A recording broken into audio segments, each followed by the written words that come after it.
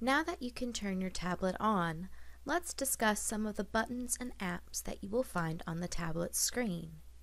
Let's start with the main function buttons on the bottom of the screen in the shape of a triangle, circle, and square.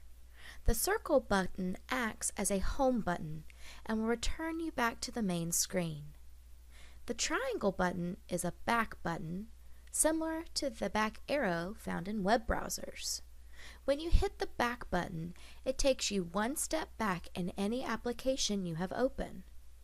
Finally is the Square Pages button. When you tap on the Pages button, it opens all the running applications, similar to that on a touchscreen cell phone. Knowing the functions of these three buttons will make utilizing the tablet in your classroom efficient. You'll be able to pull up all the resources you will need for the day and be able to toggle between those resources using the Pages button. Now, let's discuss some apps that you will find already downloaded onto your tablet. You have a Google Home app that displays the settings for the Google Chromecast device used to transfer the images from your tablet to the projector, and the Google Play Store, which is an app that allows you to look up and download additional apps. We will discuss the Play Store in more detail later in the module. There is also a Google Chrome app, which is your internet search engine app.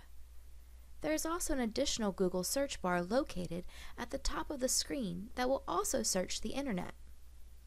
The last Google app is the Gmail app, where you can access your school email account. Additional apps that we will discuss in more detail later are the Draw on Screen app, the Camera app, YouTube, and File Manager app. Finally, by swiping left, you will see a second landing page of more apps, most that you will not use in the classroom, but come standard on the tablet. This includes your Contacts app, Calculator, Clock, Voice Search, and Settings. You will also find the Files app that houses all the documents and photos stored on your tablet.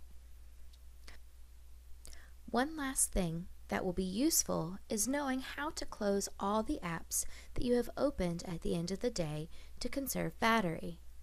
By selecting the Pages button, you open up all the running apps. By pressing on an app preview and sliding it to the left or the right, it closes out the application. Continue closing out all the apps until it returns back to the home screen.